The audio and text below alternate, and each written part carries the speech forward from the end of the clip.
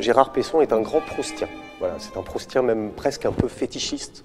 Il voulait faire quelque chose autour d'une histoire qu'il avait lue euh, à propos du manteau de Marcel Proust. Alors ça, c'est pas un conte, mais c'est une enquête qui a été menée par une journaliste qui s'appelle Lorenza Foschini et qui a retrouvé la trace du manteau de Marcel Proust, qui le raconte effectivement un peu comme, un, conte, comme une légende.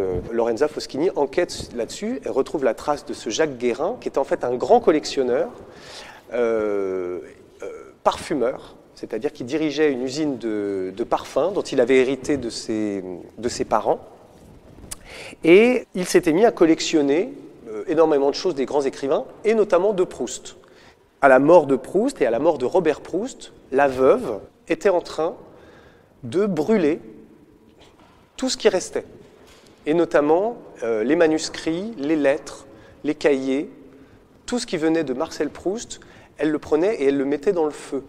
Elle était, évidemment, elle détestait la famille Proust et c'est pour ça qu'elle voulait tout vendre. Évidemment, c'était en raison de euh, l'homosexualité de Proust, de ce qu'elle euh, considérait comme des scandales attachés au nom de la famille. Donc elle voulait le faire disparaître et c'est pour ça qu'elle brûlait les dédicaces, qu'elle brûlait les cahiers, qu'elle brûlait tout. Ce qui m'intéressait, c'était de le raconter sous forme de tableaux, de vignettes, en fait, qui défilent. Euh, donc c'est très séquencé.